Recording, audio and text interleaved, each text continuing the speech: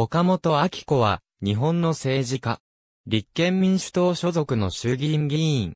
立憲民主党執行役員、ジェンダー平等推進本部長代行。本名は、山下明子。NTT 労働組合出身の情報老連組織内候補。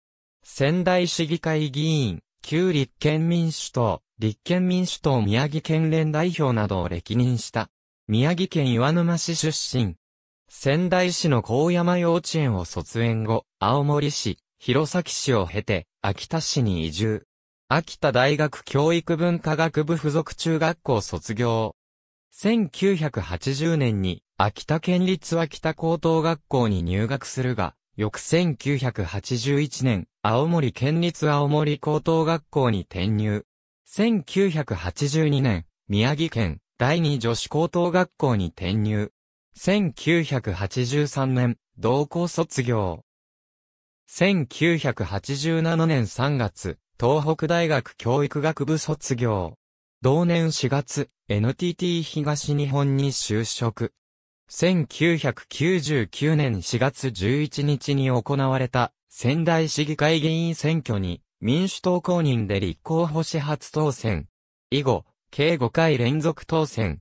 2017年7月、民進党県幹事長に就任した。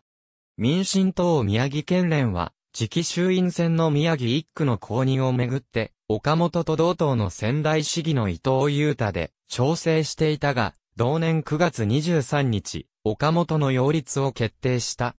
しかしその直後の9月28日に、同党は希望の党に合流することを採択し、希望の党は10月3日に、伊藤を宮城一区に擁立すると発表した。10月4日、岡本は希望の党について、一部の人たちを選んでいく。やり方には賛同できないと述べ、立憲民主党から立候補する意向を表明した。これに伴い、日本共産党県委員会は、公認候補を取り下げた。同年10月の衆院選、宮城一区は自由民主党のドイトールが当選、岡本は比例復活により初当選した。希望の党の伊藤は、順位3位で落選した。2020年9月19日、旧立憲民主党と旧国民民主党などが合流し決闘した新しい立憲民主党の宮城県連が発足。岡本が代表に就任した。2021年10月31日の第49回衆議院議員総選挙は、立憲民主党公認の岡本、同意、日本維新の会公認の春藤さやか、無所属の大草義恵が立候補。小選挙区で、土井に敗れたものの、比例復活により2期目の当選を果たした。枝野幸男代表の辞任に伴う代表選挙では、西村ちなみの推薦人に名を連ねた。12月6日、立憲民主党は、執行役員12人のうち6人を女性とする、新たな人事を決定。泉健太代表が、代表選挙で訴えた、執行役員の半数を女性にするとの公約を達成した。